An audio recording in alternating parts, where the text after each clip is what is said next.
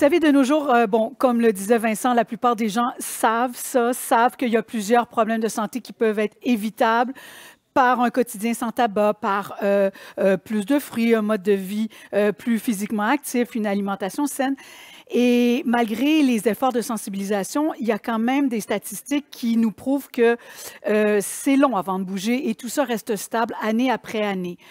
On a parlé qu'on commence à peine à suspecter les impacts de cette pandémie euh, qui ne sont pas à négliger sur euh, nos habitudes de vie. Par exemple, L'INSPQ euh, rapporte que comparativement à la période pré-pandémique, il y a 6 adultes sur 10 qui ont augmenté leur temps d'écran et près de la moitié a diminué son temps d'activité physique, son temps de mouvement. J'aime bien ce temps de mouvement.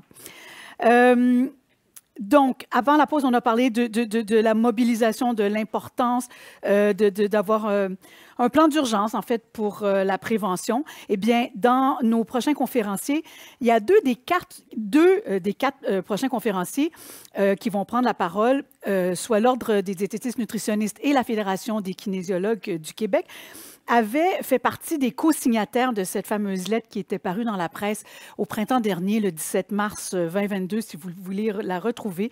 Et cette lettre avait mené à une motion de l'Assemblée nationale en faveur de la prévention. Donc, euh, dans le prochain bloc, nous entendrons Paul Bernier, Marc-Antoine Pépin, Dominique Claveau et Caroline Saint-Louis. Euh, il reste beaucoup de travail à faire et notre première conférencière, Paul Bernier, qui est la présidente de l'Ordre euh, des diététistes nutritionnistes du Québec, euh, à toi l'honneur, Paul, de répondre à cette question. Que reste-t-il à accomplir pour la saine alimentation? Je vous demanderai d'accompagner, d'accompagner, oui, et d'applaudir Paul Bernier. Merci, Hélène. Bonjour tout le monde, il me fait grand plaisir d'être ici. Comme Hélène l'a mentionné, l'Ordre était euh, enthousiaste et signataire de cette euh, lettre si importante. Alors, bien sûr, euh, comme on le dit, il reste beaucoup de choses à accomplir, mais avant d'entrer dans le vif du sujet, je voulais juste réagir à la photo de saumon qu'a montré Dr Saint-Pierre, parce qu'un de mes gros euh, sujet depuis 40 ans, c'est la prévalence et le traitement de la malnutrition et de la dénutrition. 45% de nos patients arrivent en, soins de courte durée avec une malnutrition modérée à sévère. Et on dispose de budget de 7 à 8 dollars par jour pour trois repas, trois collations pour guérir. Alors, petit commentaire. Pour un autre dossier, on en reparlera. Donc, euh, divulgation, étant présidente de l'Ordre, évidemment, je vais vous parler des diététistes nutritionnistes et euh, j'espère que vous comprendrez pourquoi. Euh, mais je ne déclare aucun, je déclare aucun conflit d'intérêt à part ça. L'ordre est un ordre professionnel. Ce n'est pas une association. Donc, sa mission, telle que décrite au Code des professions, donc la loi qui nous chapeaute, c'est d'assurer la protection du public dans le domaine de la nutrition. Et ça inclut la nutrition en santé publique. On l'oublie trop souvent. Euh, je veux remercier les diététistes nutritionnistes qui portaient le message de la saine alimentation et qui contribuaient aux avancées en santé publique. Cependant, vous êtes en nombre insuffisant. Malheureusement, trop décident de ne plus être membres de l'ordre parce qu'ils disent ben, Je suis engagé, je suis pas nutritionniste, je suis directeur de ci ou responsable de ça.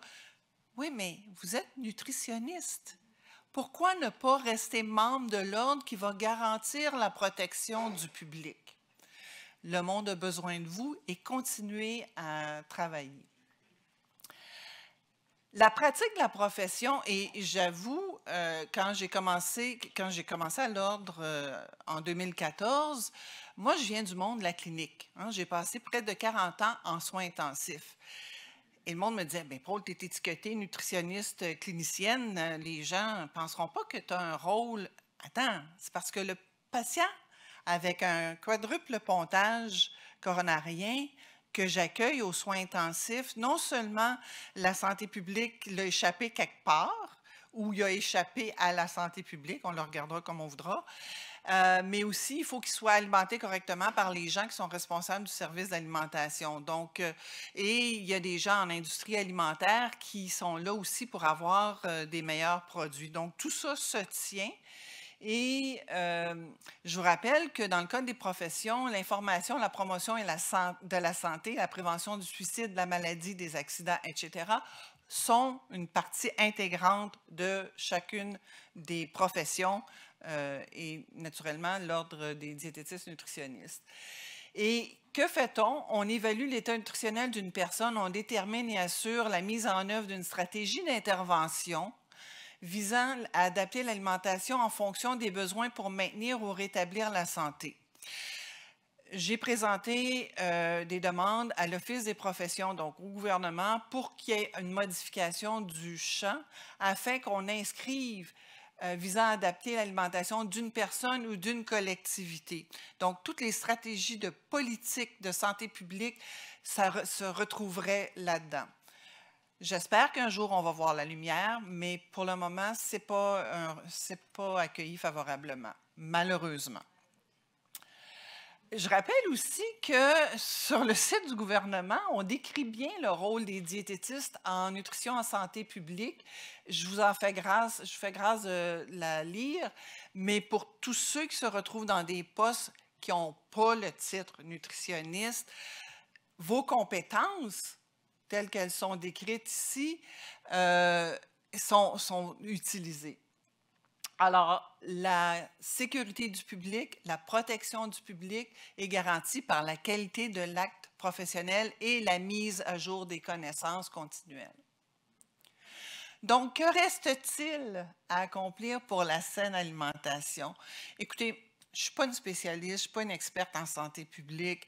Vous pouvez me sortir toutes les théories au monde et euh, vous me battez euh, à pleine couture, c'est certain. Sauf que quand on parle de saines habitudes de vie, en passant, le terme saines habitudes de vie est galvaudé parce qu'on l'utilise maintenant en curatif. Quelqu'un qui se présente avec hypertension ou hypercholestérolémie ou dyslipidémie, euh, le professionnel, souvent le médecin, va dire adopter des, des saines habitudes de vie, puis on le laisse là. M. Dumais parlait tout à l'heure d'accompagnement. On ne peut pas donner la science infuse à quelqu'un. Mais à tout ça, puis j'ai rajouté le mot alcool suite aux, fameux rapports qui, sont, sont, euh, qui ont été publiés.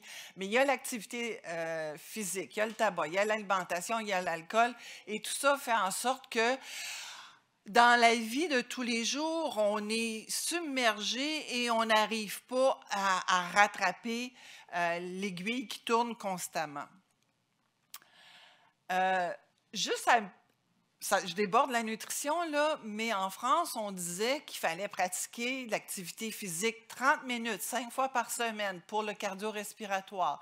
Après ça, le renforcement musculaire une à deux fois par semaine, puis des assouplissements deux à trois fois. Quand on y pense, c'est 5 heures par semaine. Euh, un parent mono, monoparental, je ne dirais pas une femme, mais souvent ce sont des femmes avec des enfants euh, au primaire. Euh, je m'excuse, mais ça rentre pas, 5 heures. À moins d'être vraiment, mais vraiment discipliné. Puis, c'est pas tout le monde qui a le niveau d'éducation ou qui a, ça inscrit dans son ADN. La saine alimentation, si je me focus là-dessus, ben, l'objectif général, on peut y aller grosso modo, c'est le guide alimentaire canadien 2019, quand même une belle amélioration à ce qu'il y avait auparavant. Grand bruit a été fait pour mettre à l'écart l'influence, le lobby des compagnies euh, alimentaires dans le guide alimentaire canadien, ce qui a augmenté, contribué à euh, la crédibilité, je pense, du guide. Mais je rappelle que euh, dans le plan stratégique du ministère, on disait qu'il y avait, bon, une amélioration des habitudes de vie en 2011-2012, mais euh, il y avait quand même 53% euh, des Québécois qui consommaient moins de cinq fois par jour des fruits et des légumes. Je le prends comme indicateur, mais ce n'est pas, le, pas le seul. Euh, et euh, par contre, une étude de l'association, la QDFL, que vous connaissez bien, démontre que 46% de la population en 2017, de la population québécoise consomme 5, de, 5 portions de fruits et de légumes par jour. Donc, ce n'est pas suffisant. C'est peut-être un peu mieux que la, population canadienne, mais ce n'est pas suffisant. Donc, la saine alimentation en elle-même, ça prend du temps, il faut le planifier, il euh, faut penser aux approvisionnements, à la préparation, et euh, ce n'est c'est pas donné à tout le monde. Il faut l'accepter que tout le monde ne peut pas rencontrer tous les standards maximaux. Mais allons-y par petits pas si c'est possible. Et aussi, dans tout ça, il y a énormément de bruit et je ne me gêne plus pour parler de charlatans. Il y a tellement de gens qui sont là pour leur profit, pour vendre une, un mode, euh, je veux dire, une recette miracle ou une approche miracle, euh, et qui fait en sorte qu'à un moment donné, le pauvre consommateur, euh, il a besoin d'être guidé. Et c'est là, je reviens à mes diététistes nutritionnistes qui sont les experts en alimentation et en nutrition, qui doivent être là pour faire entendre une voix. Et euh, le fait de manger ne confère pas les compétences pour évaluer l'état nutritionnel, pour déterminer et assurer la mise en œuvre d'une stratégie d'intervention visant à adapter l'alimentation en fonction des besoins pour maintenir ou rétablir la santé. Et ça, c'était ma première phrase dans le mot de la présidente que j'ai écrit euh, dans notre revue Nutrition au mois de décembre. Et c'est vrai aussi en santé publique. Donc, euh, à un moment donné, il va falloir que si on, pense à santé durable, qu'on c'est bien beau la libre entreprise, mais quand la libre entreprise est au détriment du public, puis de la santé publique, puis au bout du compte, chacun paie pour ça. Là. On parlait, est-ce que le citoyen est un malade, est un patient, mais le citoyen, il est là. S'il n'est pas en état de fonctionner, euh, de contribuer à la vie socio-économique, ben, il y a des impacts bien plus que sur le coût de santé. Bref, j'arrête mon discours. Je tends à m'emporter, mais c'est parce que j'aurais pu vous parler de tous les aspects pendant bien longtemps. Déjà en 2007, avec le, ministère de l'Éducation, avec le ministère de la Santé, le MAPAC euh, publiait le document pour un virage en santé à l'école qui est présentement en revision mais il y avait vraiment une intention de faire des établissements scolaires au Québec, vraiment des, lieux privilégiés pour euh, l'éducation, puis faire en sorte que nos jeunes, qui sont les premiers à acquérir des habitudes, ben, soient euh, des, acteurs à, pleine entière, à, part entière. J'ai relevé euh, des petites composantes. Là. Le thème 1, c'est environnement scolaire. Pour la nutrition, c'était offrir des repas, offrir, faire offrir, offrir, éliminer, éliminer, éliminer, puis après ça, des environnements favorables. Bon, ben c'est très prescriptif. Et les environnements favorables, ben, à, côté de ça, on a tous les McDonald's et euh, fast-food dans les environnements à, très peu de distance des écoles, ce qui fait en sorte que, encore une là, là, on a des pressions négatives. Il y avait aussi pour le mode de, vie physiquement actif deux composantes que j'aime beaucoup. Puis j'espère, j'en ai parlé à la personne qui, est euh, au ministère. Former et soutenir de jeunes leaders et former et soutenir le personnel des services de garde. Parce que ce personnel-là, on leur demande d'intégrer au quotidien des, euh, des, activités, de sensibiliser l'ensemble des éducateurs, de diffuser des messages. Mais il n'y a personne qui, qui est là comme expert de contenu. C'est à travailler, là. Euh, même chose pour les bénévoles. Oui, on, a besoin des bénévoles, on a besoin l'équivalent des, des pairs chez les patients partenaires, mais les patients partenaires, sans un expert pour les guider quelque part au point de vue scientifique, c'est incomplet. Donc, euh, il y a un, projet qui s'appelle euh, Ensemble pour développer la alimentaire des enfants, euh, qui est du groupe La Table québécoise sur la saine alimentation, et qui ressort que les valeurs et les croyances des intervenants sur l'alimentation peuvent nuire à l'adoption des, bonnes pratiques en alimentation et des messages à privilégier. C'est donc extrêmement important de faire le, ménage dans les messages. Oui, il y en a de l'information, mais elle ne répond pas à tous les besoins. Puis même malgré ça, ça c'est une petite partie de la page, il y a tellement de, choses qu'on ne sait plus où aller. Euh, donc oui, on a besoin d'accompagnement. Et euh, il y a mes connaissances du rôle et des impacts des diététistes nutritionnistes. Il y a mes connaissances euh, de leur euh, existence. En fait, je vais le mettre en lumière. Parmi tous les centres de services scolaires, plus d'une soixantaine, 61 plus de deux commissions scolaires, etc., il y a moins de 10 diététistes nutritionnistes vous faites l'équation. Il y en a quelques-unes qui sont prêtées par la santé publique, mais elles ne sont pas nécessairement diététistes. Puis malgré les avantages connus, euh, par exemple, euh, le facteur de réussite que sont les diététistes pour l'application de la mesure 10 15.012 du ministère de l'Éducation qui permet une alimentation saine dans les écoles. Euh, ben, ces personnes-là ne sont pas là. En plus de la cacophonie, ben, des fois, là, il faut longer les murs pour avoir une bonne stratégie d'alimentation parce que si on fait le tour de l'épicerie, on a une chance de moins tomber sur des aliments ultra transformés, mais encore là, l'appel, viens me chercher, viens me chercher. Puis, tu sais, on dit toujours, ah oui, mais je vais me faire plaisir. Mais le plaisir, c'est dans la saine alimentation aussi et de se faire plaisir toujours avec des aliments ultra transformés, ben, on y reviendra. Je ne suis pas une puriste, là, hein, euh, c'est certain. Mais en même temps, l'abondance, euh, les pressions sont toutes en déséquilibre, sont tout pour déséquilibrer euh, le choix vers une saine alimentation. Et on disait en 2012 déjà euh, qu'il faut rendre les choix simples plus faciles à faire et les choix moins simples plus difficiles à faire. Et ça, c'est ce qui est le grand, grand, grand défi, que ce soit à l'école ou ailleurs dans notre vie quotidienne. Euh, encore un, groupe de travail euh, de la TQSA travaillait sur l'accès universel à une offre alimentaire de qualité et ils ont dénombré 801 actions à faire.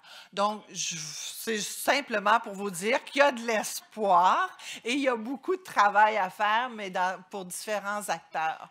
Donc, il y a quelque chose à faire là. Je suis retournée avec les objectifs du développement durable euh, parce qu'on parle de santé durable, j'essayais d'arrimer. C'est sûr que ça requiert de chacun des personnes, des comportements responsables, ça requiert d'être tourné vers, vers, les autres, un peu comme ce qui se passe euh, euh, au Danemark.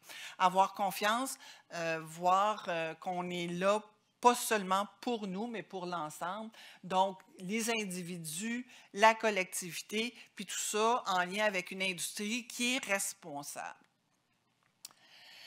Euh, où j'étais un petit peu plus troublée, c'est lorsque je vais voir sur le site du ministère de la Santé et qu'on regarde les cinq dimensions de la saine alimentation euh, et qu'on parle du développement durable, on parle surtout d'approvisionnement, de diminuer euh, l'empreinte écologique, tout ça. Mais moi, j'ai un gros problème. Là, je divulgue mon gros problème, puis je vous le dis, je ne suis pas puriste. OK? Mais qu'est-ce qu'on fait des aliments inutiles à la santé? On prend des terres arables pour, euh, des, euh, aliments ultra transformés. Là, utilisez le vocabulaire à votre choix, ultra transformés ou autre. Euh, c'est un gaspillage de ressources, c'est une utilisation, comme je disais, inappropriée des terres. Euh, il y a une compétition dans la tête du consommateur, ce qui fait que ça crée une euh, concurrence déloyale. Et à mon humble avis, il y a un virage qui est requis à ce moment. Je termine en parlant du plan santé. L'Ordre a émis un communiqué de presse parce qu'on était heureux des poignées, des, occasions qu'apporte le plan santé. Euh, faut pas se le cacher, on n'ira pas 100% prévention demain matin, mais en transition, il faut commencer, oui, et on le salue. Euh, mais euh, est-ce qu'on a, on a les bonnes politiques, mais est-ce qu'on donne vraiment les moyens de les mettre en œuvre? Et je pense que c'est là où on en est rendu. Euh, la société est capable de, prendre un petit peu plus de, guides pour les accompagner à faire ses propres changements. Je vous remercie.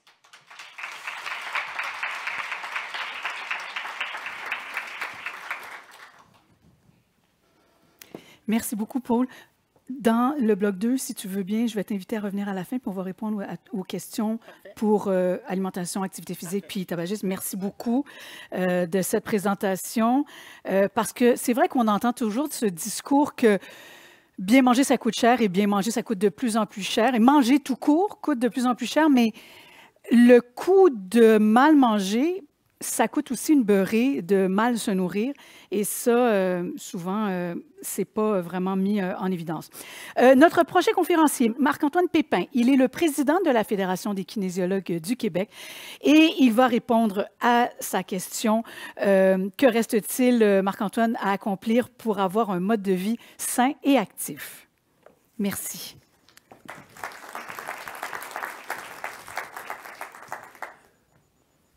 Bon, bonjour à tous. Merci d'être présents. Merci à l'organisation aussi de nous permettre de, discuter de ces sujets qui sont hyper importants, hyper intéressants. Donc, je vais essayer de répondre justement à la question que reste-t-il à accomplir en activité physique? Ça ne se veut pas une présentation très scientifique. Le but aujourd'hui, c'est vraiment de semer la discussion, d'amener des réflexions, de pouvoir échanger aussi avec vous. Hein. Je reste ici, donc je vais, je vais être avec vous pour le restant de la journée. Je vais être ici vendredi aussi. Donc, être avec vous, si vous voulez discuter, essayer de trouver des stratégies, des solutions plus on en parle, plus on va trouver des solutions qui vont être durables. Avant de commencer, je vais vous inviter une, euh, une habitude que j'ai vue dans les différents congrès américains où je vais. On dira ce qu'on veut sur les habitudes de nos voisins du Sud. Par contre, dans les congrès au niveau activité physique, il recommande puis il encourage souvent à ce que les gens se lèvent sur les côtés. Donc, je veux juste le mentionner, je ne l'oblige pas évidemment, mais s'il y en a qui désirent assister à cette conférence-ci en étant debout sur les côtés, juste pour être un petit peu debout, se dégourdir un peu, des fois lever les jambes ou autre, ben, je vous invite à le faire, il n'y a aucun problème, je ne serai, pas, euh, serai pas gêné ou peu importe. Fait que je lance l'invitation pour vous. Ça fait plaisir. Donc, des fois, c'est ça, c'est de changer des habitudes, changer des paradigmes. Donc, une première petite activité. Qui ici, à main levée, évidemment, sans obligation, qui ici se considère physiquement actif? Hein, quand même une bonne proportion, j'imagine. Hein? Voilà. Qui ici euh, est au courant que d'investir en prévention peut réduire les coûts de santé par la suite? Vous êtes pas mal une, euh, population convaincue. Hein? Mais en fait, vous vous trouvez à être comme 64% de la population qui pense ça. c'est quand même très intéressant comme chiffre. Par contre, au niveau des recommandations, donc le monde sait que de bouger, d'être physiquement actif va réduire les coûts. Par contre, seulement 49% des adultes atteignent les recommandations d'activité physique et seulement 28% des jeunes et des enfants. Donc un constat qui est quand même un peu troublant. Ces chiffres-là, vous devez les reconnaître, hein, les pourcentages d'occupation des lits dans les urgences, donc les urgences débordent. On est au courant, OK? Donc, euh, c'est rien de nouveau. On les a vus passer en gros dans les journaux. Et 3,9 milliards, le coût direct des maladies métaboliques et des, maladies chroniques, excusez-moi, les coûts directs au niveau du système de santé. Donc, c'est quand même non négligeable cet aspect-là. Maintenant, ben, on fait quoi? On fait quoi pour éviter des parcs tristes, vides comme ça ici, sans, sans enfants, sans personne qui joue, sans personne qui court? Donc, le but, c'est un petit peu, le but de ma réflexion, Comme j'ai dit, le but n'est pas de vous donner des enseignements ou peu importe, le but c'est d'amener la réflexion. Première chose, mais je crois qu'il faut préciser l'activité physique. Hein, tout le monde a entendu le fameux Ah, mais il faut bouger plus. OK, mais bouger plus, c'est quoi? Quand vous allez chez le médecin, si vous souffrez d'hypertension artérielle, est-ce que le médecin vous dit simplement, ben, pour ton hypertension, il va falloir que tu prennes une pilule, sans vous donner de posologie, sans vous donner quel médicament? Non, il va venir le préciser. Quand vous voyez un physiothérapeute, une entorse à la cheville, par exemple, est-ce qu'il va juste vous dire, ben, ce serait bien que euh, tu fasses certains exercices de renforcement sans vous préciser lequel? Non, il va venir préciser justement. Par contre, l'activité physique, trop souvent, on reste au stade de bouger plus, soyez plus actif. Ça donne absolument rien. Pourquoi? Parce que ce bouger-là, ben, il y a un manque de précision. Oh. Voilà, excusez-moi. Euh, il y a un manque de précision. OK? Ce manque de, précision-là, malheureusement, risque de mener à une inaction. Hein, des fois, devant le, doute, est-ce que je devrais faire A ou B, la personne ne fera rien. OK? Donc, cette inaction-là, ou des fois, selon moi, pire encore, une mauvaise action. Ah, il faut que je bouge, parfait, j'ai jamais bougé de ma vie, mais à partir de demain, je vais commencer à courir 10 km par jour à tous les jours. Pour moi, ça, c'est un problème aussi. Donc, cette inaction-là ou cette mauvaise action-là ben, va amener, dans la plupart des cas, un échec ou un sentiment, des fois, d'incompétence. En commençant que je n'ai pas réussi, tout le monde est capable de bouger, puis moi, je ne suis pas capable. Donc, ce sentiment d'incompétence-là ou cet échec-là va amener à l'abandon. Et malheureusement, cet abandon-là, la petite dernière flèche, euh, j'aurais dû l'enlever, excusez-moi, mais cet abandon-là, le problème de ça, c'est que ça vient faire une coche dans notre motivation à recommencer à bouger. Pourquoi? La prochaine fois que quelqu'un va nous parler de bouger, euh, que ce soit un kinésiologue ou autre, ben on va dire Ouais, mais j'ai déjà essayé puis ça n'a pas marché. Donc, c'est pour ça qu'il faut essayer de faire attention à ce, cycle-là, éviter de l'amener euh, comme ça ici. Deuxième chose qu'il faut faire, il faut ramener le plaisir de l'activité physique. Donc, je suis content d'avoir entendu tantôt euh, Sylvie Bernier qui mentionnait cet aspect-là de plaisir d'activité physique. Oui, j'y crois fermement. Ce plaisir-là. Pour euh, ramener le plaisir au niveau de l'activité physique, ben, vous le voyez, pour moi, évidemment, c'est un peu plus ma réflexion, mais selon moi, ça prend un peu moins de structure. OK? Oui, je ne dis pas que ça ne prend pas de ligue organisée de hockey ou ci ou ça. Oui, ça en prend. OK? Parce qu'il y en a qui vivent pour ça, ça les fait bouger. Par contre, il y en a que juste de bouger. Le lundi, ils décident d'aller courir un peu par eux-mêmes. Le mardi, ils n'ont pas le goût de courir, ils ont le goût d'aller faire du vélo. Bien, ils vont faire du vélo. Hein? Donc, sortir un peu d'un cadre qui est trop rigide, qui est trop statique, puis de se permettre un peu de liberté. Moins d'obligations aussi. OK? Petite anecdote rapide. Très mauvaise nuit aujourd'hui. Le, fils de ma blonde s'est levé à, peu près six fois durant la nuit. Je travaille ce soir après, le congrès, euh, après la, journée de formation, je vais être brûlé. Je le sais que je n'aurai pas mon entraînement, mon heure, mon heure et demie d'entraînement habituel. OK? C'est pas grave. Il n'y a pas d'obligation. Il faut se déculpabiliser de ça. Donc, cette déculpabilisation-là est importante. Oui, il faut être actif. Je ne dis pas d'être sédentaire tout le temps.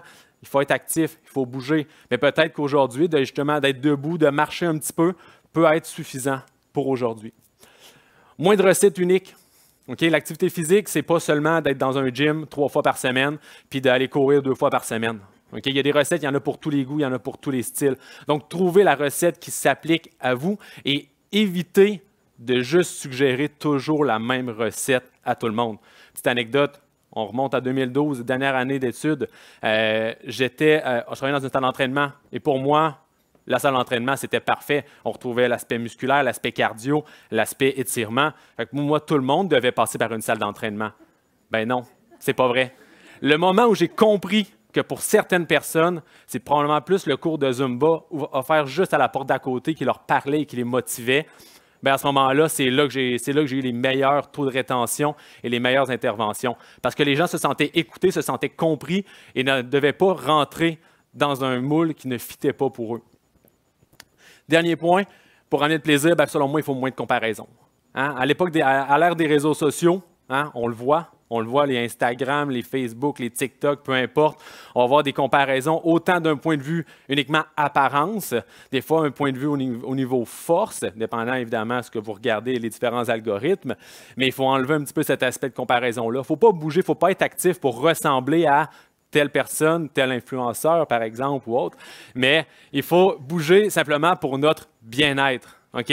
Et donc, ça, c'est ce qu'il faut rappeler. Donc, éviter cette comparaison-là avec des, gens, des, des, personnes qui représentent une mince portion de la population. Non, bougeons pour notre bien-être, pour notre plaisir. Et je vais aussi amener une autre petite chose, la comparaison avec nous-mêmes. Hier, on a mentionné 24% des gens ont des appareils connectés, OK, qui donnent à quel point, oui, j'ai atteint ma cible d'activité physique et tout ça. OK, c'est bien, ça a son utilité. Par contre, il faut quand même l'utiliser avec parcimonie. Je leur donne mon exemple. Aujourd'hui, je n'atteindrai pas mes cibles d'activité physique. OK? C'est pas plus grave que ça. Ça donne une indication, mais il ne faut pas virer fou avec ça. Il faut arrêter de se comparer, de dire Ah non, j'ai moins bougé qu'hier, donc nécessairement, je suis une moins bonne personne. Pas du tout. Pas du tout. Il y a des contextes différents, donc c'est important de garder ça en tête. Pour amener l'activité physique, bien évidemment, il faut plus de plaisir. Il y a tellement d'activités physiques. Il y a tellement d'activités physiques. Il faut simplement trouver l'activité physique qui nous convient. Des fois, si vous décidez d'accompagner quelqu'un vers un mode de vie plus actif, une, stratégie qu'on utilise souvent, c'est de regarder les activités physiques passées. La personne, quand elle était jeune, elle faisait du patinage artistique. Puis là, si elle, a arrêté, bon, pour différentes raisons, et là, quelques années plus tard, elle veut se mettre en forme, bien, peut-être que de lui mettre des patins dans les pieds, même si ce n'est pas pour faire des quadruples axels, peut-être que ça va lui redonner le plaisir de bouger.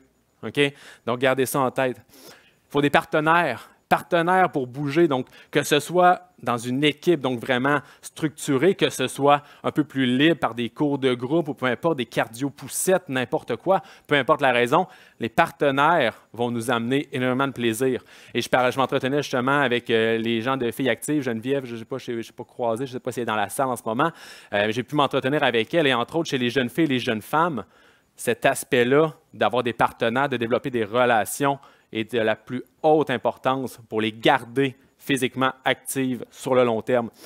Et j'ai entendu une euh, conférence de Dr Isabelle Doré, l'Université de Montréal, ceux qui connaissent, en plus au niveau santé mentale aussi. L'aspect groupe, l'aspect partenaire, d'avoir un réseau social quand on s'entraîne est hyper important d'un point de vue santé mentale aussi. Donc, dans un contexte de santé durable, on parle en santé physique, on va aborder la santé mentale aussi au travers de ça. Donc, les partenaires peuvent vraiment être un bon allié pour ça plus de découvertes, hein, essayer des choses. Ça a été la mode il y a quelques années. Il y a eu les Zumba, il y a eu les spinning euh, plus récemment, il y a eu le spike ball. Essayez des choses, allez peut-être trouver des occasions de bouger que vous, qui étaient totalement insoupçonnées pour vous. Et pour retrouver du plaisir, c'est d'aller dans la nature aussi. Hein, on a parlé un peu du bien-être, donc des espaces verts, d'entendre le bruit, le, vent dans les feuilles, d'entendre les oiseaux qui gazouillent. Cet aspect-là d'utiliser la nature pour retrouver le plaisir, le bien-être est hyper important. Donc, gardez ça en tête. Euh, toujours pour amener le plaisir, bien évidemment, 1 hein, plus 1 égale 2. Euh, plus de chances de rester accroché à une activité physique si c'est agréable. Hein. Si je vous donne le choix entre une activité physique que vous aimez ou de passer l'aspirateur chez vous, probablement que vous allez faire l'activité physique que vous aimez. D'accord? Donc, ça, évidemment, c'est 1 plus 1 égale 2. Au niveau des différentes considérations, OK? Donc, je vais l'aborder rapidement. Euh, oui, on a parlé, bon, plus de partenaires, plus de ci, plus de ça. Par contre, chaque personne est différente. On est quoi, peut-être 100, 100, 120 personnes dans la salle ici. Je suis sûr qu'on a 100, 120 idées de l'activité physique idéale pour vous. Je vous nomme juste en rafale quelques considérations. Donc, des fois, quand vous, comme je l'ai dit, vous voulez accompagner quelqu'un ou vous-même, si vous voulez commencer à bouger un petit peu plus, gardez en tête les considérations. Il y en a qui préfèrent les entraînements en groupe, il y en a qui préfèrent les entraînements individuels. C'est tout à fait correct. Il n'y en a pas un meilleur que l'autre, je l'ai mentionné. Il y en a qui préfèrent s'entraîner à la maison, il y en a qui préfèrent dans un centre sportif. J'ai volontairement mis ça large, on s'entend. Euh, donc, euh, centre sportif, que ce soit salle d'entraînement, piscine ou autre. Donc, pas chez eux. Ils ont besoin de sortir de chez eux pour donner une petite coupure. Il y en a qui aiment mieux justement un entraînement qui va être plus structuré. Donc, par exemple, j'ai ma ligue de flag football à tous les mardis, mardi soir. Versus, il y en a d'autres qui vont dire Moi, je ne veux pas m'inscrire dans une ligue, je veux juste bouger. Euh, quand, selon ce que ça me tente, aujourd'hui, je vais faire du vélo, demain, je vais faire du ski, peu importe. Oui, vélo-ski, en tout cas, on s'entend, c'est peut-être pas la même saison, mais. Euh, puis il y en a qui vont préférer évidemment l'entraînement à l'extérieur, d'autres qui vont préférer l'entraînement à l'intérieur. Donc, ce sont toutes des considérations, je pense, qui sont à avoir quand on veut parler d'activité physique et tout ça. Prenez le plaisir. Faut rappeler l'accessibilité de l'activité physique. Tout le monde peut bouger. Je vous sors la définition de l'activité physique de l'OMS. Donc, tout mouvement corporel produit par les muscles squelettiques qui requiert une dépense d'énergie. On s'entend que c'est assez large. J'ai un professeur, quand j'étais au bac, qui nous mentionnait se brosser les dents, c'est une activité physique. Bon, on s'entend, je comprends, mais, OK, bon, à, prendre un peu avec un grain de sel, mais quand même, on s'entend. Donc, cet aspect-là de tout mouvement corporel par les muscles qui requiert une dépense d'énergie est vraiment important. Donc, arrêtez de dire que vous ne bougez pas. On va chercher quatre sphères avec ça. On peut chercher autant, évidemment, la sphère des loisirs. Hein. donc, je décide que je m'en vais faire du patin ou peu importe. On parle aussi de la sphère du travail, que vous soyez un travailleur plus euh, physiquement actif ou peu importe, ou que dans le cadre de votre travail, vous avez à vous déplacer ou peu importe. Euh, on va parler évidemment des transports, transports actifs. On a abordé ce sujet-là déjà à quelques reprises à date au niveau euh, de, ces, journées de conférence-là, de ce sommet.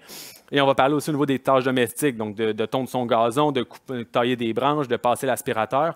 C'est aussi de l'activité physique. Évidemment, bon, il y a toute la notion d'intensité, tout ça qui diffère, mais ce sont toutes des activités physiques.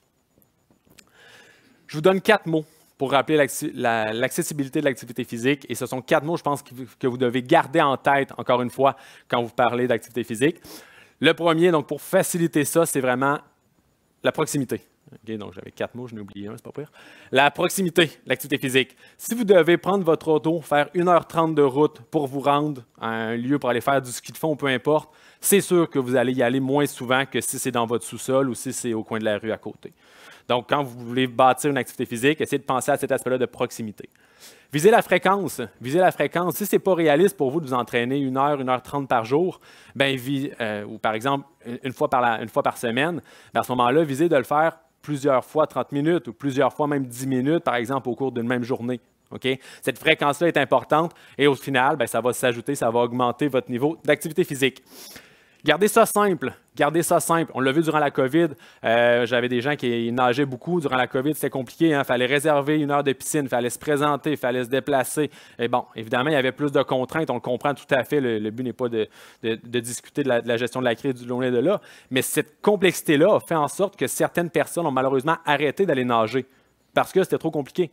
Donc, gardons ça simple, gardons ça facile. Et rappelons-nous que pour l'accessibilité, évidemment, ben, euh, il, faut que ça soit, facile, il faut que tout le monde puisse bouger, que tout le monde puisse en faire. Donc, il y a des, je pense qu'il y a des stratégies, que ce soit au niveau politique, au niveau gouvernemental, au niveau municipal, peu importe le niveau, il y a des stratégies qui sont à faire pour ça. Il faut décloisonner l'activité physique. OK? Donc oui, tout le monde doit parler d'activité physique. On en parle, oui, c'est correct que ce soit les amis de la famille, les acteurs gouvernementaux, euh, les journalistes, les professeurs, les chercheurs, peu importe. Tout le monde doit parler d'activité physique et doit mentionner les bienfaits. Mais il y a un point qui est important et ça va rejoindre un peu euh, la, présentation de M. Dumais tantôt. Euh, il faut s'écouter un petit peu. Il faut essayer de comprendre aussi les obstacles. Pourquoi la personne ne bouge pas? C'est quoi son obstacle? C'est quoi sa réalité? Ça va chercher aussi l'aspect d'environnement autour. Hein, on l'a mentionné, la personne monoparentale, par exemple, qui a deux, trois enfants à la maison en bas âge, Bien, c'est effectivement le 5 heures par jour que, ma collègue ici présentait, Mme Bernier présentait. Le 5 heures par jour, il était réaliste. Donc, il faut essayer de comprendre c'est quoi les barrières et de l'adapter. Et pour ça, bien évidemment, étant donné que ce n'est pas toujours simple de bouger pour tout le monde, je vous présente ce petit logo-là. Évidemment, là, c'est là que je vais prêcher un petit peu pour ma paroisse. OK, on s'entend? Je ne peux, pas faire mieux que ça. Euh, donc, le kinésiologue. Pour moi, le kinésiologue, je ne le mets pas au centre parce qu'il est meilleur que les autres, loin de là.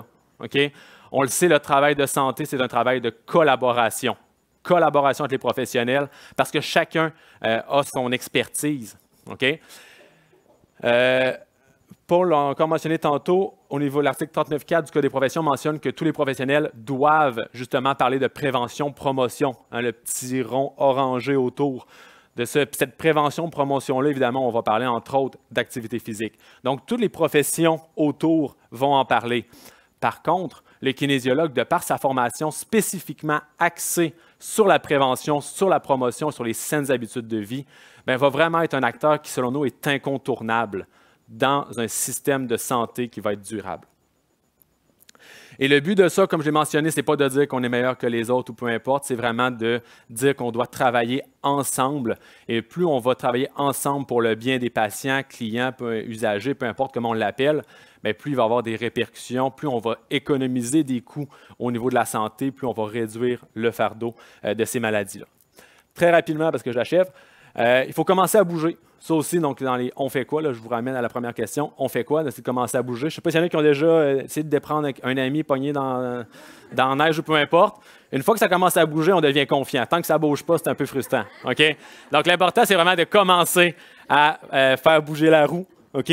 Euh, donc, que ce soit parce qu'on va mieux dormir, on va, être, on va se sentir plus en forme, on va se sentir plus fort, on va être moins stressé, peu importe la raison pour laquelle, c'est une fois qu'on a commencé à bouger, on a plus de chances de continuer à bouger. Donc, ne restons pas dans l'inaction, essayons de bouger. Évidemment, pour ça, ben, il y a des gens qui sont là pour vous accompagner, pour vous aider. Et dernier point, il faut commencer à investir. Je remets la même image parce que pour moi, c'est exactement la même raison. Donc, cet investissement-là est important. On commence à le faire, on commence à le faire, mais malheureusement, c'est très souvent trop peu trop peu. Ça prend totalement un changement de paradigme. Il faut changer d'un curatif vers un préventif. Ce n'est pas une phrase que j'ai inventée, on l'a entendu à de nombreuses reprises. Mais cet aspect-là d'investir, et que ce soit parce que notre système de santé va mieux respirer, parce que les maladies chroniques vont nous coûter moins cher, parce que la population va être en meilleure santé physique et mentale, parce que l'environnement de vie va être plus agréable, bien, peu importe la raison, une fois que la roue va être partie, elle n'arrêtera pas de rouler. Et je sais que c'est ingrat d'investir en prévention. Je lisais récemment euh, une citation qui mentionnait les, héros euh, qui sont les héros silencieux. Donc, c'est des gens dans lesquels on, ne parlera jamais, qu'on ne parlera pas de ces gens-là nécessairement. Des gens qui ont fait des investissements massifs, qui ont changé totalement des directions parce qu'on sera, ça va être difficile de quantifier à quel point ils ont réellement amené un impact sur le terrain. Mais on le sait tous, ici dans la salle, on l'est tous convaincus, et même à la maison, je suis sûr que vous l'êtes tous aussi investir en prévention sur le long terme, ça va nous rapporter. Et c'est important d'agir et d'investir en prévention. Donc voilà, je vous rappelle euh, les quelques points que j'ai mis, euh, desquels on a parlé. C'était juste un petit rappel.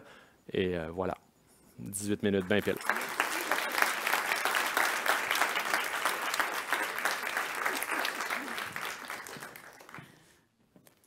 Merci Marc-Antoine. Ça, c'est pour faciliter mon travail à moi. C'est très, très apprécié. Le Zumba, hein? il me semble que je te verrais bien, le Zumba.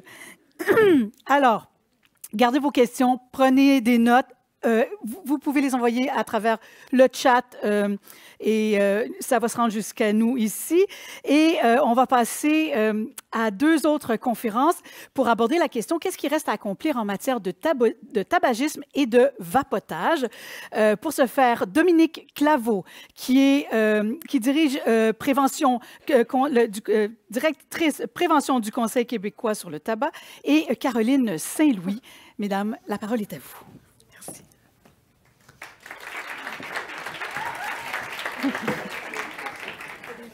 Oui, c'est ça.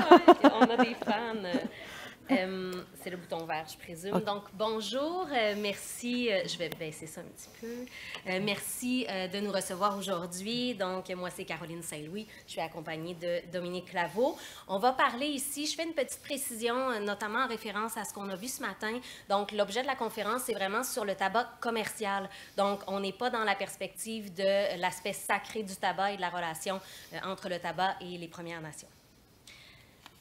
Donc, on va passer assez rapidement sur les diapos de présentation de nos organisations pour pouvoir entrer dans le vif du sujet. Donc, à la Société canadienne du cancer, on a toute une équipe de prévention du cancer et promotion de la santé qui est donc dédiée à travailler sur ces notions-là, principalement dans quatre domaines. Donc, tout ce qui concerne la prévention et la cessation du tabac et du vapotage, les saines habitudes de vie, donc on en a parlé abondamment. Nous, on va se concentrer beaucoup sur le transport actif, euh, les cancérigènes environnementaux, notamment les rayons UV et le radon, et aussi la détection précoce du cancer.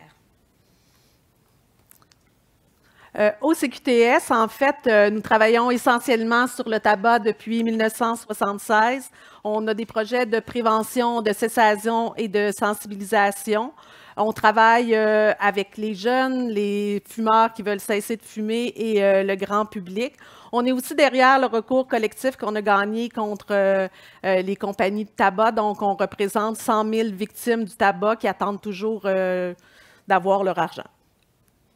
Avant de sauter dans le vif du... Ah. On est deux, on va se, on va Avant de sauter dans le vif du sujet, on va faire un petit tour de la problématique.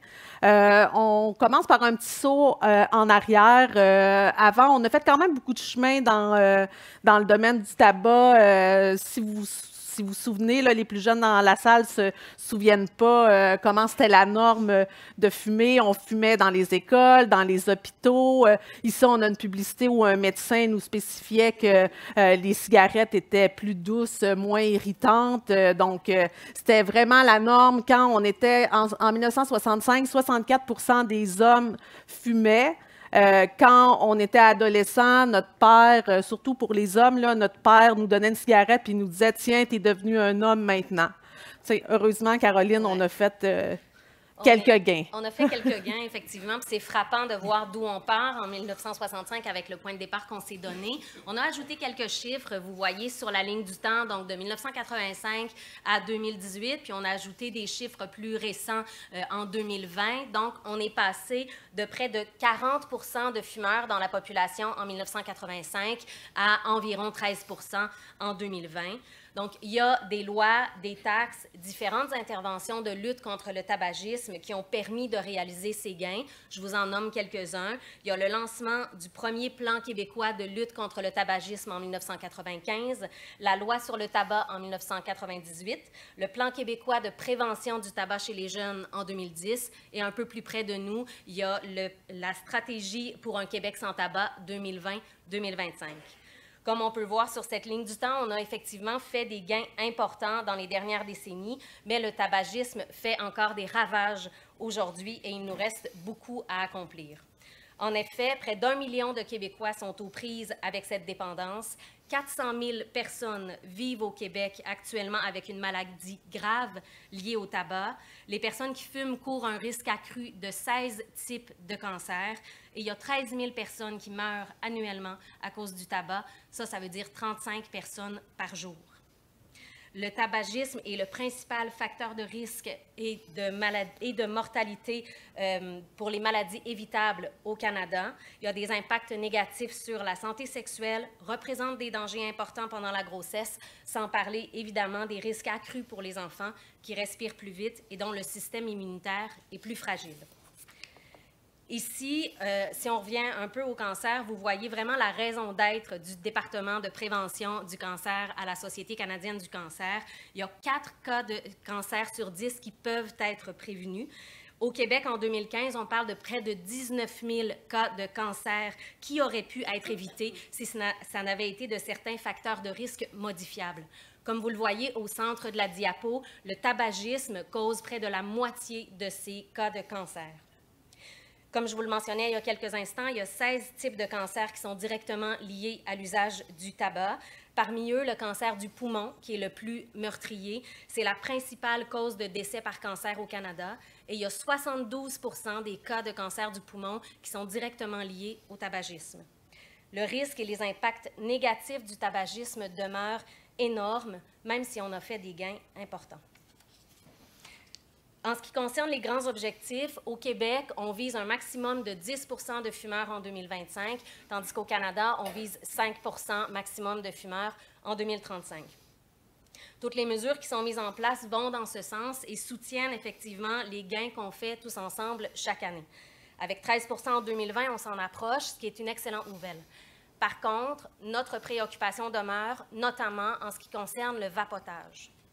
Bien que le vapotage soit parfois utilisé dans, comme dans une perspective de réduction des méfaits et d'aide à l'association tabagique, le ministère de la Santé des Services sociaux et le directeur national de la santé publique du Québec, et je cite, met en garde la population contre les produits de vapotage, qu'ils contiennent ou non de la nicotine. Aussi, je cite maintenant la Société canadienne de pédiatrie, le vapotage chez les jeunes est associé à un risque accru d'usage du tabac et de substances psychoactives, de troubles de santé mentale, de pneumopathie, de cardiopathie et de blessures accidentelles. Le vapotage ne doit pas servir d'outil d'abandon au tabac chez les jeunes en raison de son manque d'efficacité et, et, des données probantes sur les méfaits qu'il occasionne. Je vais laisser Dominique maintenant vous présenter plus en détail l'état de situation et les enjeux liés au vapotage, plus précisément auprès des jeunes. Effectivement, c'est une question à se poser. Est-ce que, c'est vraiment un gain de santé publique, euh, l'introduction de ces produits? Euh, chez l'adulte, on a encore de la difficulté à répondre à la question, mais ce qu'on va vous montrer ici, on croit que chez les jeunes, c'est loin d'être euh, un gain de santé publique. avant de rentrer un peu plus dans les données, peut-être vous, pour ceux qui connaissent moins les produits de vapotage, euh, on est rendu à la quatrième génération de produits euh, de vapotage et on doit bientôt sûrement s'attendre à une cinquième et une sixième génération euh, parce que l'industrie du tabac, qui a beaucoup d'argent, est derrière ça et ils doivent être en recherche et développement.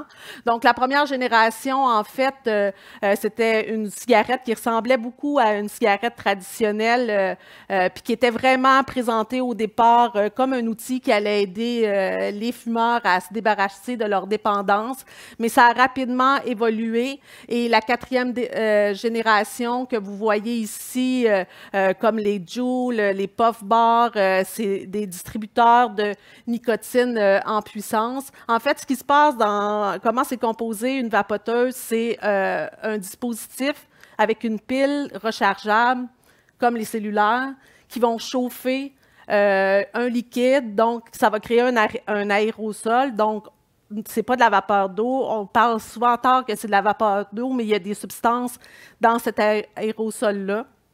Donc, euh, donc c'est ça. On est rendu à la quatrième génération qui sont des produits, en fait, euh, qui sont cool, euh, dont le packaging ressemble au, packaging de Apple. en plus, ils, sont, ils se branchent, c'est technologique.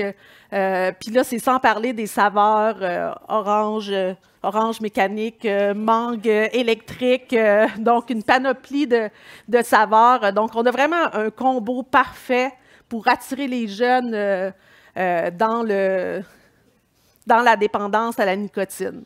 Puis le problème, en fait, c'est que une capsule de Joule, par exemple, maintenant, on a limité à 20 mg de nicotine la concentration, mais un jeune peut rapidement consommer l'équivalent de euh, un paquet de cigarettes en l'espace de 20 minutes, tout dépendant de la force à laquelle il va inhaler euh, ou de la, de la vapoteuse qu'il utilise. Donc, c'est très préoccupant euh, pour nous. Est-ce que c'est un problème marginal? on pense que non. c'est quand même assez fréquent.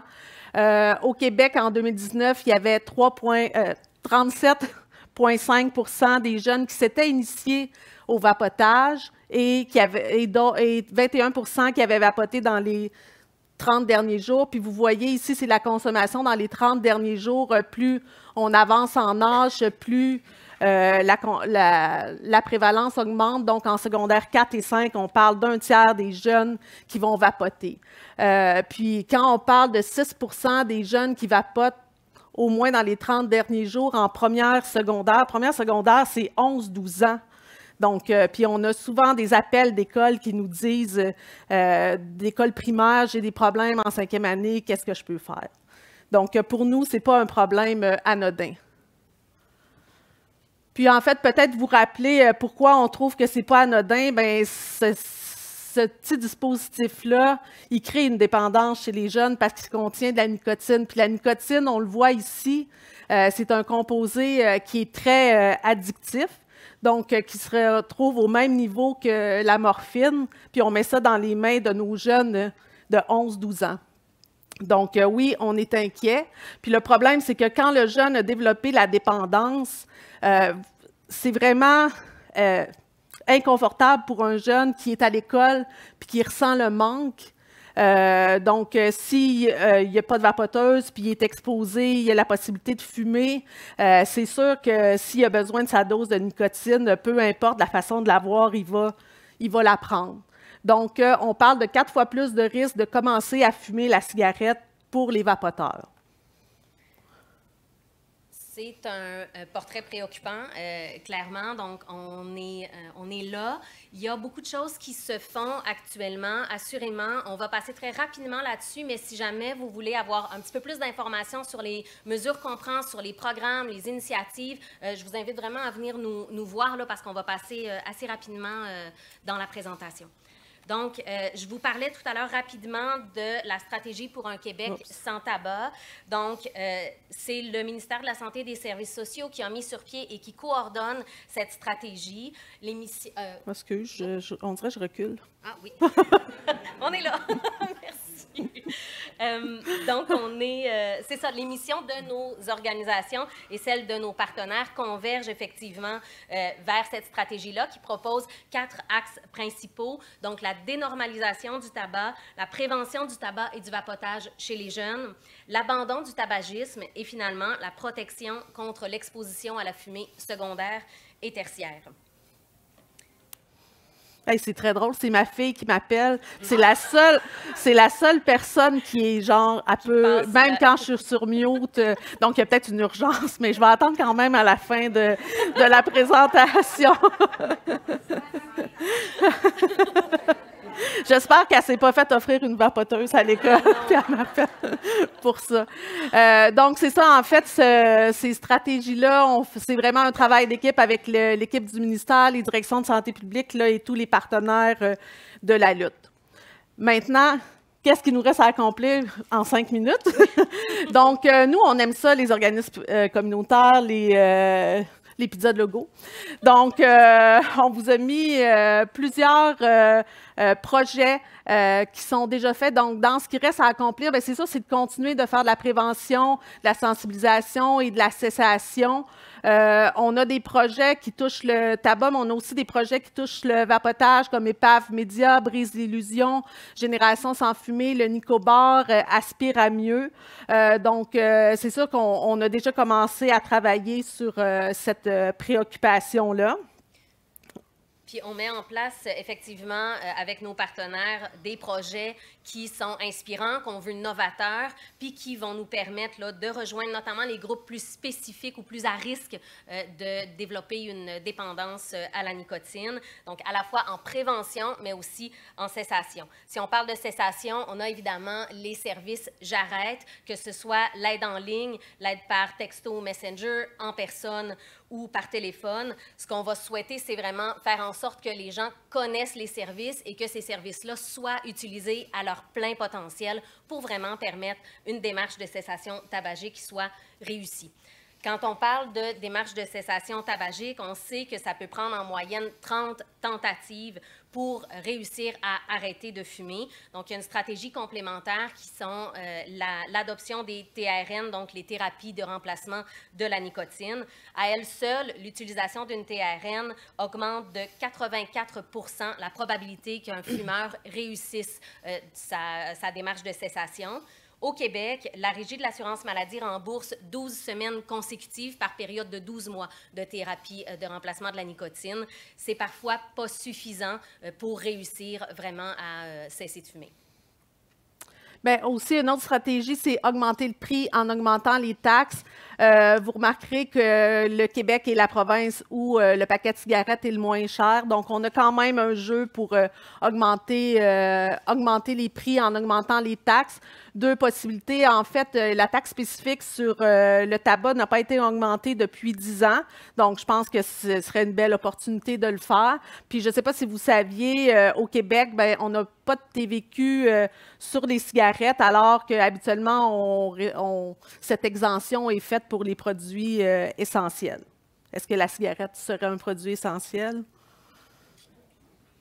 Euh, ensuite, ici, mieux encadrer le vapotage. J'ai ressorti les recommandations. Euh, euh Docteur Arruda, vous les avez sûrement vues. C'est les recommandations du groupe de travail qui, a été, qui ont été faites euh, euh, qui avait été un groupe de travail de médecins et d'organismes communautaires qui avait été mandaté euh, en 2019 pour parler de la problématique. Donc, on a, on a fait sept recommandations. Jusqu'à maintenant, deux recommandations ont été mises en place. Le 20 mg grâce à la réglementation fédérale. Et on a eu une annonce dernièrement qui va avoir une taxe spécifique sur les produits d'apotage au Québec. Donc, euh, donc c'est ça, il est plus que temps de ressortir le rapport et surtout de se dépêcher à encadrer euh, les saveurs euh, et les arômes dans les produits de vapotage. Une autre des choses, en fait, c'est de limiter l'accès du vapotage, mais des cigarettes aussi. On a 8000 points vente au Québec de produits de vapotage et de cigarettes. il y aurait possibilité de limiter la distance entre deux points de vente ou près des écoles. Je trouve ça quand même dommage dans mon quartier de Montréal que c'est plus facile pour moi de m'acheter des produits de vapotage que de m'acheter de la laitue. Justement, si on parle de, euh, de s'inspirer de ce qui se fait ailleurs dans le monde, donc l'accessibilité, il y a Philadelphie, San Francisco et New York qui limitent les points de vente du tabac et restreignent le nombre de licences disponibles et limitent aussi leur transfert. Si on reste aux États-Unis, Beverly Hills est vraiment une pionnière dans le domaine. Dès 1987, il y avait interdiction de fumer dans les restaurants et 1998 dans les parcs. Quelques décennies plus tard seulement, ces mêmes mesures ont été appliquées au Québec.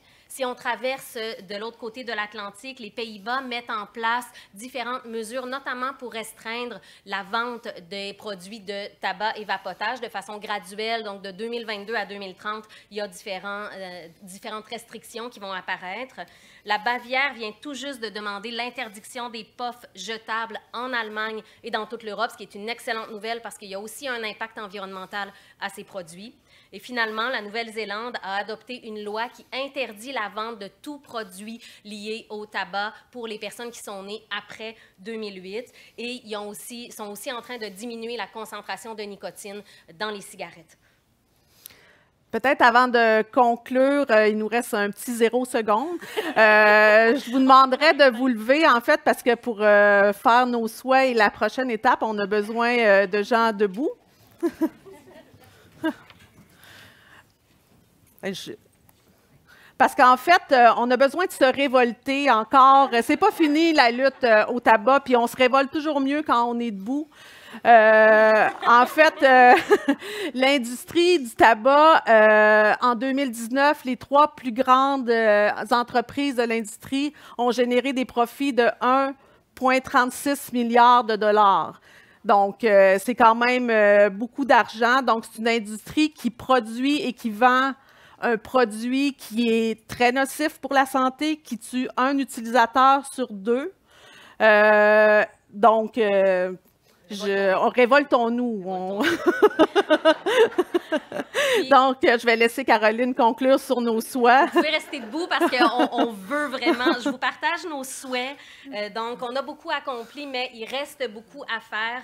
Donc, nos souhaits pour l'avenir, c'est que les fumeurs d'aujourd'hui aient les services dont ils ont besoin pour cesser de fumer, que de moins en moins de jeunes commencent à fumer ou à vapoter, que le contexte, les mesures, les lois et les taxes compliquent l'accès au tabac et au vapotage, que les normes sociales en lien avec le vapotage changent pour en faire un produit dangereux, nocif et pas cool, que nos jeunes vapoteurs d'aujourd'hui ne deviennent pas nos fumeurs de demain, et il faut agir vite avant que l'industrie nous devance avec ses stratégies de marketing puissantes.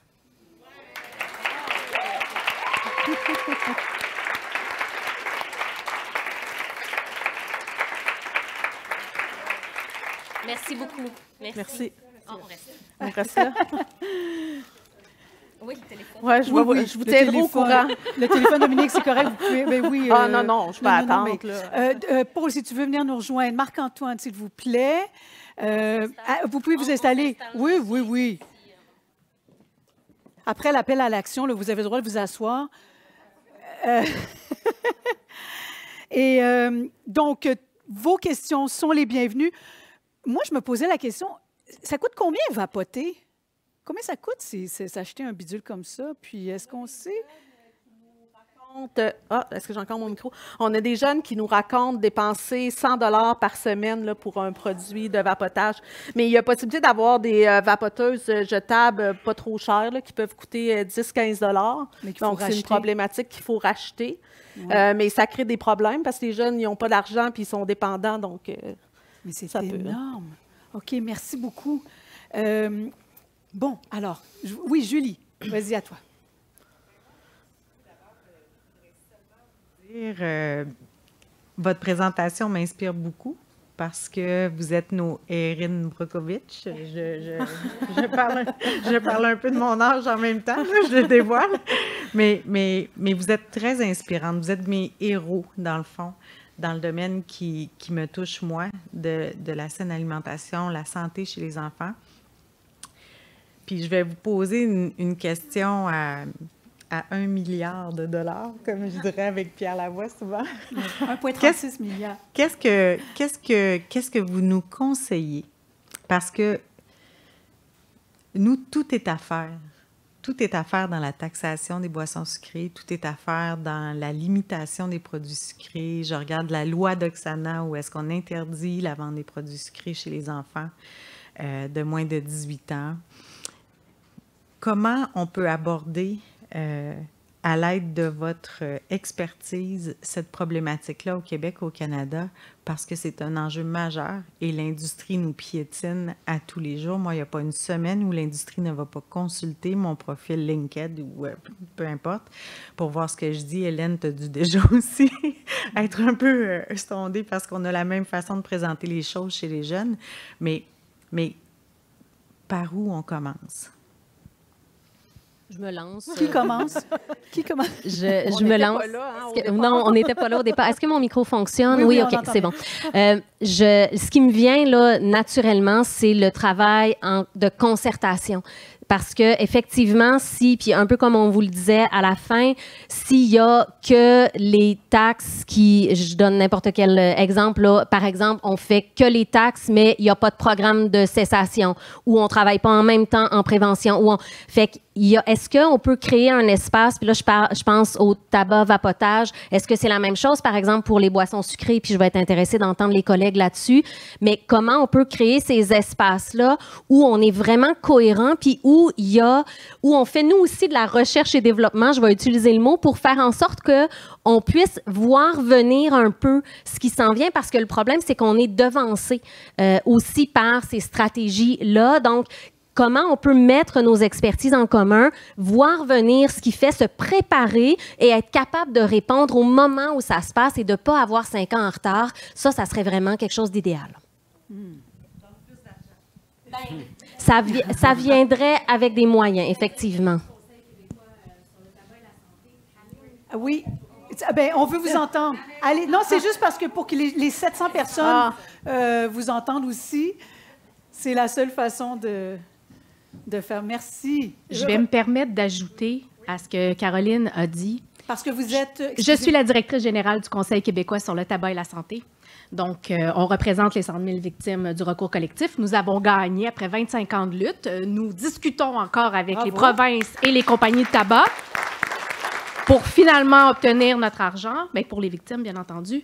Mais moi, je vous dirais qu'on n'est pas encore bon. Parce qu'on l'a vécu avec le tabac, puis on est encore 10 ans en arrière avec le vapotage.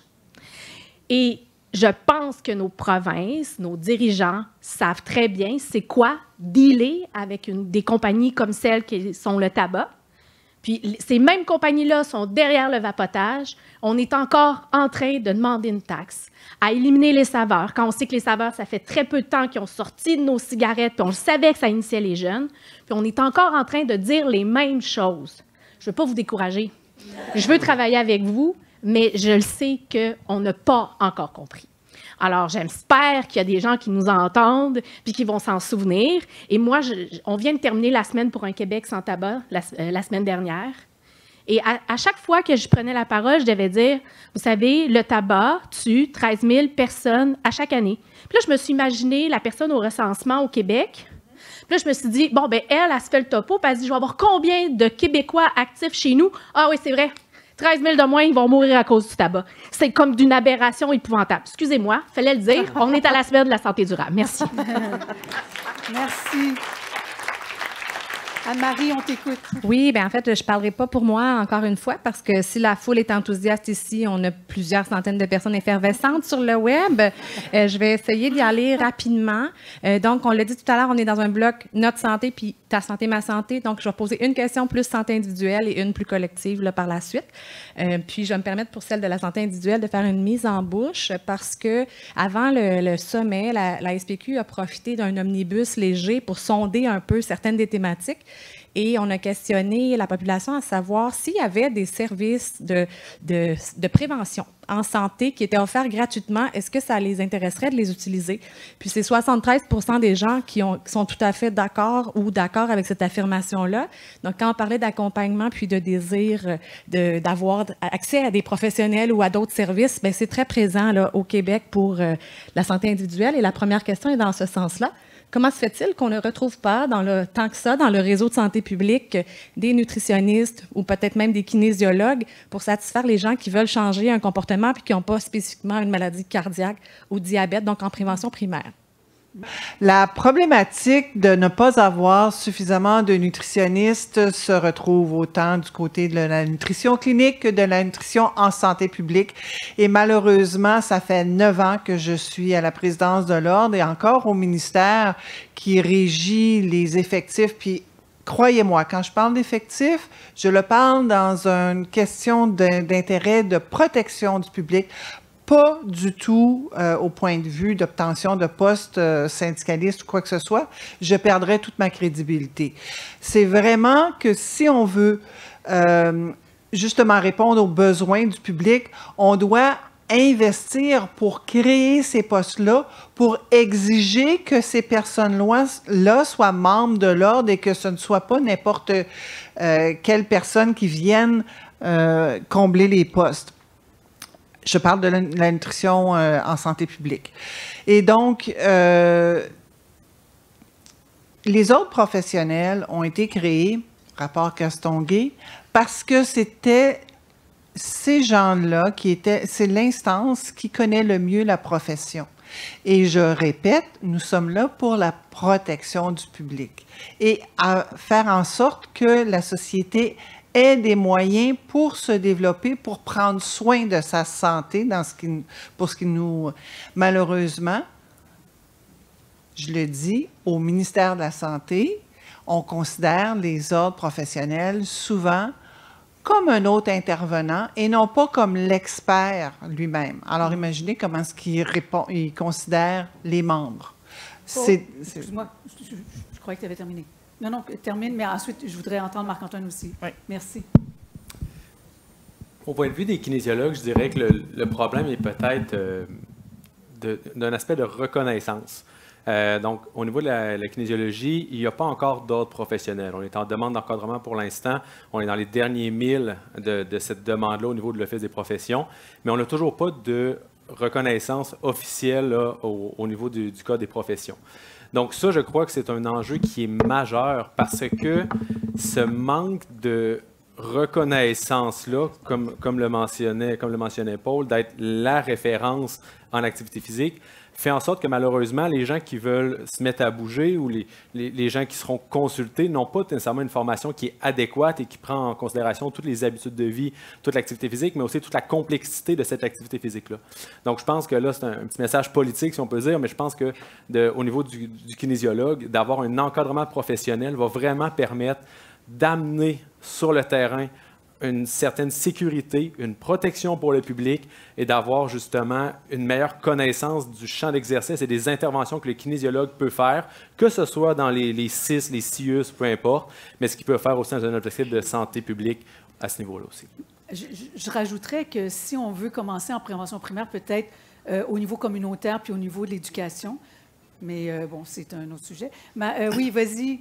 Eh ben oui, en fait, il y a quelqu'un qui faisait du pouce là, sur ce que vous disiez au niveau de la reconnaissance des professionnels euh, dans les deux cas, là, et, peut-être dans d'autres cas, puis qui disait que c'est peut-être pour ça qu'il y a autant de, de charlatans aussi, euh, puis qu'on a moins de, ce type de charlatanisme avec la pâte à dents, par exemple, parce que le dentiste est peut-être mieux reconnu que, que vos professions. Mais si je peux. Voyons, encore. Hello? Décidément, je pensais que c'était un complot. Mais euh, la question des, charlatans, là, euh, deux choses. Premièrement, euh, oui, il faut éduquer le monde, mais il y a un encadrement réglementaire qui doit se faire au niveau du Code des professions. On est en demande pour modifier le libellé d'une activité réservée. Je rentre pas dans la technique, mais c'est compliqué et c'est long. Et on a présentement, quand une nutritionniste est en enquête de la part du, syndic, là, qui est la police d'un ordre professionnel, elle peut très bien décider de démissionner puis d'aller pratiquer de façon euh, non conforme à l'externe. Elle ne se fera pas achaler.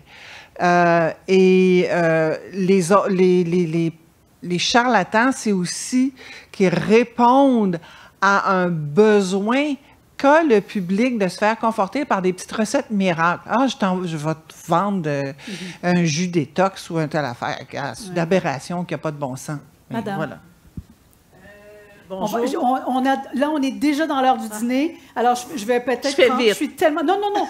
Vous êtes là depuis assez longtemps, mais je veux juste dire, malheureusement, on n'aura peut-être pas le temps de prendre toutes les questions. On vous écoute. On peut pas être contre la vertu là, dans les, les saines habitudes de vie. Euh, c'est un commentaire, peut-être question, en lien avec justement les drogues au sens large, qu'on parle de tabac, qu'on parle d'alcool, de cannabis et des autres drogues.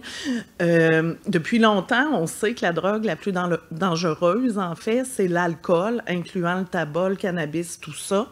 Euh, puis les autorités, les bien-pensants, tout ça ont tendance à dire qu'une drogue est moins pire qu'une autre, comme euh, habituellement les gens mieux favorisés économiquement vont consommer plus d'alcool alors que les autres vont consommer plus de tabac, plus d'autres drogues. Euh, L'interdiction, c'est bien démontré que ça fonctionne pas là, au fil du temps. Euh, comment ce que vous présentez pour le tabac, est-ce qu'on devrait finalement avoir la même façon de contrôler toutes les drogues? Ou, euh, tu sais, selon vous, c'est de toutes les interdire, de, de, toutes les- de faire la même prévention, par exemple, euh, donner des cartes à points à la sac, mais interdire le tabac euh, pour certaines personnes? ou- C'est, je veux pas partir un débat. En fait, ouais, c'est ça, on en a pour pour une longue conversation. Mais je pense que la, la première étape, peut-être dans dans ce que vous dites par rapport à la lutte à- aux différentes drogues, c'est l'information. Une fois qu'on est informé des risques, euh, de des impacts possibles, tout ça, après chaque personne est responsable de prendre ses décisions. Fait que je pense que la première étape c'est celle-là. Maintenant, de dire est-ce qu'on devrait utiliser le même processus pour toutes les drogues? Euh, je serais pas prête à avancer ça parce que je pense qu'il y a beaucoup de réflexions à avoir puis beaucoup d'éléments à considérer qui vont euh, bien au-delà de simplement les risques sur la santé.